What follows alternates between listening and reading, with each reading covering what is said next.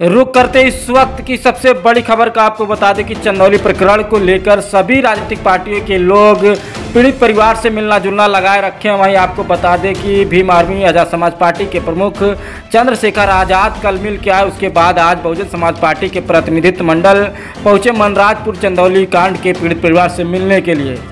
आपको बताएँ तो कन्हैया यादव के घर पहुँचे बीएसपी के डेलीगेशन और कन्हैया यादव और उनकी छोटी बेटी से की बात। बसपा नेताओं ने बसपा नेताओं ने मामले में न्यायिक जाँच की मांग भी रखी है। वहीं आपको बता दें, इस वक्त की सबसे बड़ी खबर निकल कर आ रही है। बहुजन समाज पार्टी के तरफ़ से दिल्ली की बीएसपी प्रभारी वकील सीमा कुशवाहा, नेहा यादव की पीड़ित परिवार की केस जो है, सीमा कुशवाहा लड़ेंगी। आपको बता दें, सबसे बड़ी खबर निकल कर आ रही है। सीमा कुशवाहा लड़ेंगी पीड़ित परिवार का केस। इस वक्त की बड़ी खबर है।